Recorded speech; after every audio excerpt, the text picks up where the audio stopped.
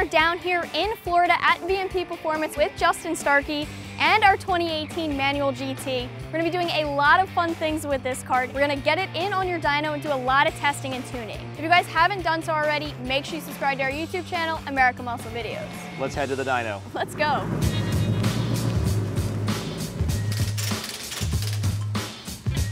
We're about ready to do our stock dyno pull to get our baseline numbers for the manual GT.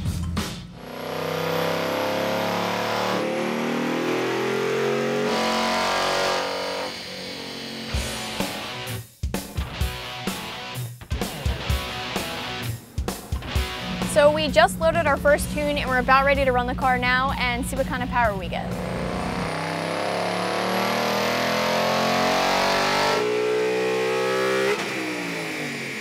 So we just finished up a couple different runs with the manual with our first tune and what are you seeing? I think we're both pretty happy with this, right?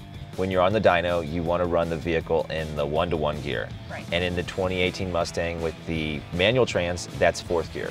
What exactly were our baseline numbers that we're comparing to and the after tune numbers? The baseline was 422 rear wheel horsepower in one run and 421 rear wheel horsepower in another run. And I mean, that's just awesome for a, a, stock Mustang out of the factory. And we ended up seeing between 17 and 18 rear wheel horsepower gain and about 8 to 10 foot-pounds of torque gain. But the big thing is the area under the curve. We picked up power down low and up high. Right. If we zoom in here on the 3000 RPM range, we actually gained 20 foot-pounds of torque. That is awesome. I'm very happy with that.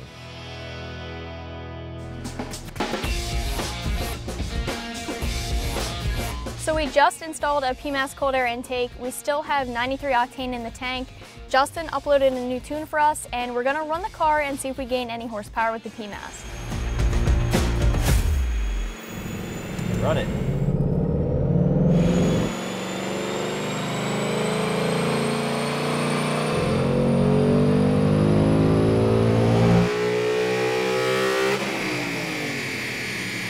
All right, so can you tell us what we've seen so far? We did more than one pull in fourth gear with the PMAS cold air intake installed, and it was very consistent, and we saw some pretty awesome gains. We just put out 450 rear wheel horsepower and 420 foot-pounds of torque. Going back to our numbers with just the tune, we picked up about 16 to 17 rear wheel horsepower and about six to seven foot-pounds of torque. So over our baseline run, how much horsepower and how much torque have we gained?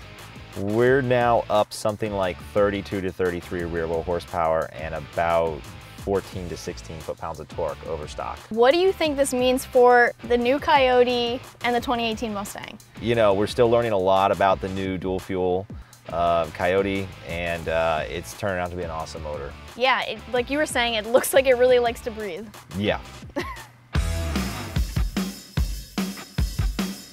such great results on 93 octane with the PMAS cold air intake that we figured we're here, why not throw some E85 in the tank? So Justin's up there right now, filling the car up. We're gonna run the car on E85 and see what we get.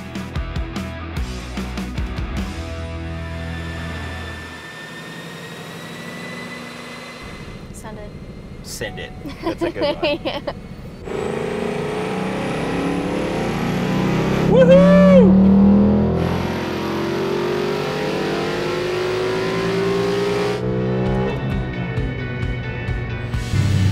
See what we got. All right, I'm kind of nervous. 469 and 434 on E85, PMAS cold air intake, VMP performance tune. Pretty impressive. If it wasn't stupid to high five, I'd high five you. yeah. All right guys, so that's gonna be a wrap on our VMP adventure with our manual 2018 Mustang. I have to say this thing's come a long way since it first rolled up and hit this dyno, hasn't it? We baseline the car around 419, 420 rear wheel horsepower. I know the tuner in you is saying that there's more left in this car, but I'm pretty impressed with the final numbers that we got here today. I'm happy with them too. It, it made 469 rear wheel horsepower, 434 rear wheel torque, and that's as much as the GT350 makes. Right, with what, a cold air intake, a VMP tune, and E85. E85 in the tank. Yeah. It's as simple as that. The numbers we've gotten so far, the results, they're awesome. Um, we're definitely going to find more in the future as more tuning parameters become available in the software that we use. We're definitely going to find more, but I'm really happy with what we've gotten so far. Guys, if you don't want to miss out on anything Mustang related or any other cool Mustang content, make sure you subscribe to our YouTube channel. And for all things Mustang, keep it right here at AmericanMuscle.com.